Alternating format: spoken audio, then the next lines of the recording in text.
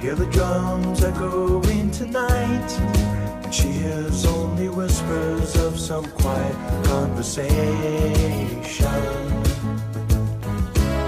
She's coming in 12:30 flight. The moonlit wings reflect the stars that guide me towards salvation. I stopped an old man find some old forgotten words or ancient melodies. He turned to me as if to say, Hurry, boy, it's waiting.